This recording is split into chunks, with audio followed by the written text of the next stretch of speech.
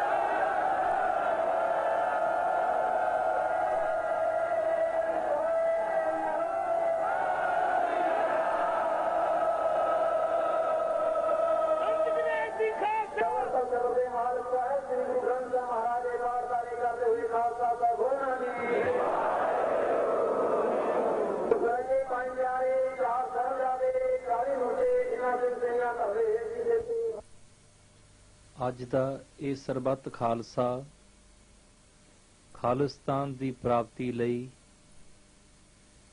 ਸ੍ਰੀ ਗੁਰੂ ਹਰਗੋਬਿੰਦ ਸਾਹਿਬ ਜੀ ਦੇ ਚਰਨਾਂ ਵਿੱਚ ਅਰਦਾਸਾਂ, ਬੇਨਤੀਆਂ ਕਰ ਰਿਹਾ ਹੈ।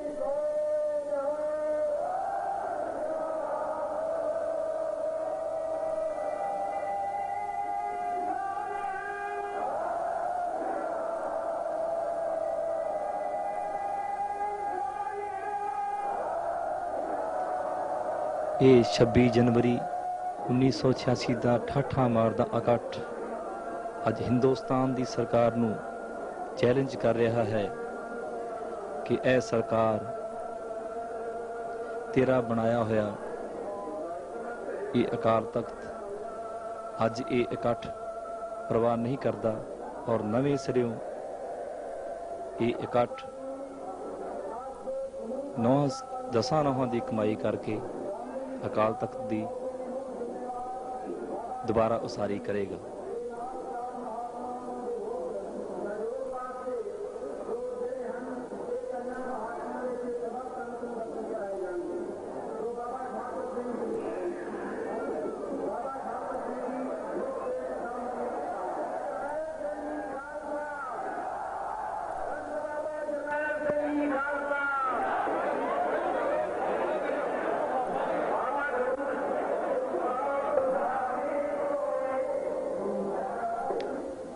ਇਹ ਹਨ ਬਾਬਾ ਠਾਕੁਰ ਸਿੰਘ ਜੀ, ਜਿਨ੍ਹਾਂ ਨੇ ਕਿ ਸੰਤ ਬਾਬਾ ਜਰਨੈਲ ਸਿੰਘ ਜੀ ਖਾਲਸਾ ਜੀ ਦੀ ਗੈਰ ਹਾਜ਼ਰੀ ਵਿੱਚ ਪੂਰੀ ਜ਼ਿੰਮੇਵਾਰੀ ਨਾਲ ਸੇਵਾ ਦਾ ਬੀੜਾ ਚੁੱਕਿਆ ਹੋਇਆ ਹੈ।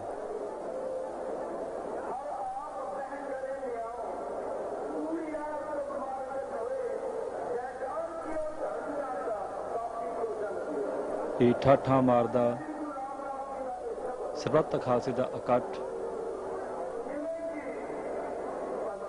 ਅੱਜ ਫੈਸਲਾ ਕਰ ਰਿਹਾ ਹੈ ਕਿ ਹਿੰਦੁਸਤਾਨ ਦੀ ਸਰਕਾਰ ਨੇ ਰਹਿਣਾ ਹੈ ਕਿ ਨਹੀਂ। ਬਲਕਿ ਖਾਲਿਸਤਾਨ ਦੇ ਪ੍ਰਾਪਤੀ ਤੱਕ ਇਹ ਸੰਘਰਸ਼ ਚੱਲਦਾ ਹੀ ਰਹੇਗਾ।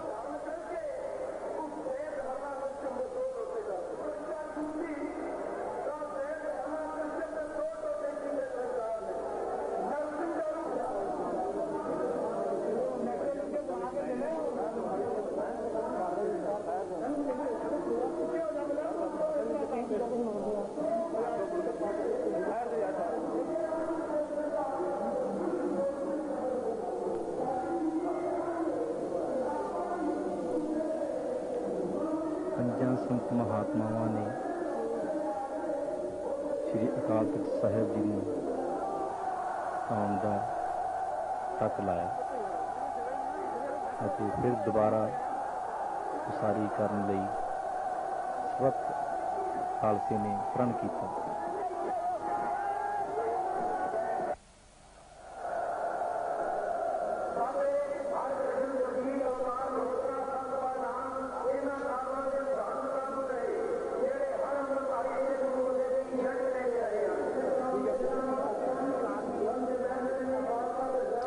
ਸ੍ਰੀ ਅਕਾਲ ਤਖਤ ਸਾਹਿਬ ਜੀ ਦੀ ਕਾਰ ਸੇਵਾ,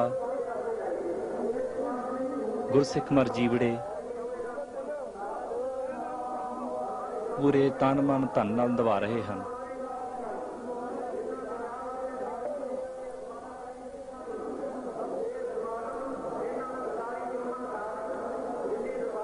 ਸ੍ਰੀ ਗੁਰੂ ਹਰਗੋਬਿੰਦ ਸਾਹਿਬ ਜੀ ਦਾ ਇਹ ਅਸਥਾਨ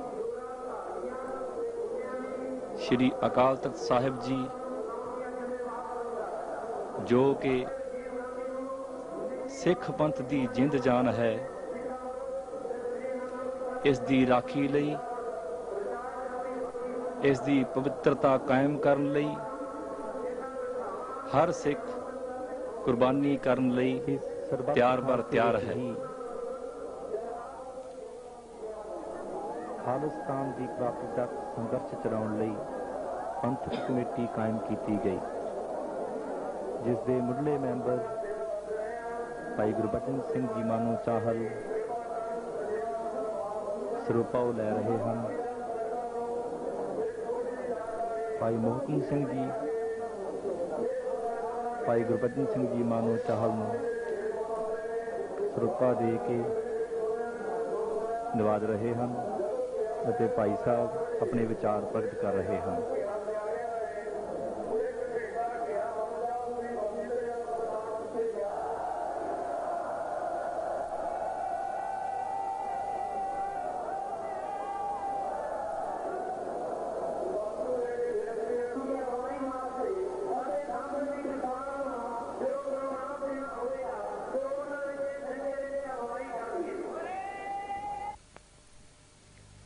ਉਨੱਤੀ ਅਪ੍ਰੈਲ 1986 ਨੂੰ